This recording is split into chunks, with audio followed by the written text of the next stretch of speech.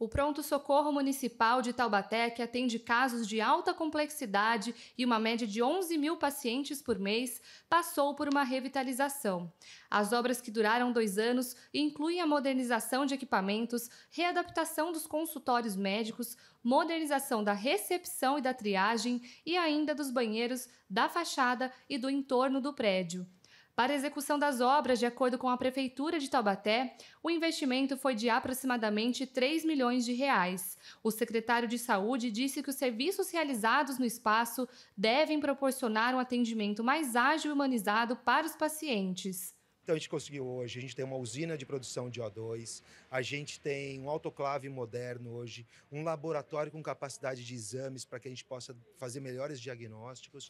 Então a unidade central hoje ela tem se torna quase a gente brinca com um hospital, porque ela tem períodos de internação de pacientes prolongados. Então, nós temos uma complexidade muito grande aqui dentro. Então, essas melhorias vieram para que fosse o melhor atendimento e com melhores respostas, com melhor resultado dos, dos atendimentos. O prefeito José Saldi destacou que, além da revitalização do PS municipal, está buscando outras melhorias e formas de ampliar o espaço para atender com mais conforto a grande demanda de atendimento que inclui moradores de outras cidades da região, além de Taubaté a cidade vai crescendo, a região cresce.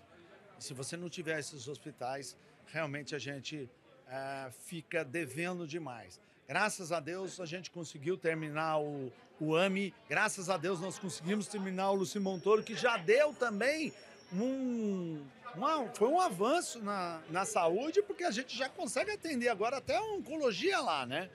É, nós estamos com o Agamute, que é um belo de um hospital grande, é universitário tem que ser atendimento, e a gente precisa, com isso, é, dinamizar, aumentar ainda, esperar mais esses atendimentos. Quando eu cheguei, os atendimentos dentro da normalidade eram perto de 8 horas, hoje a gente tem.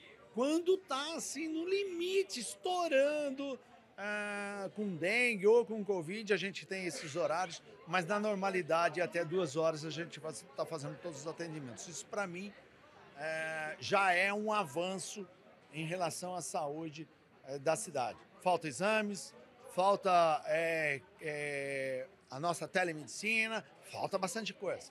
Não deu tempo, porque o, o, o, o tempo ele estava junto com as receitas que a gente tinha e a gente estava com muita dívida. Mas agora as contas já estão em dia, eu já estou recebendo mais do que estou gastando, então eu já consigo atender toda a população da forma que ela precisa e aquilo que eu ah, falei que ia atender.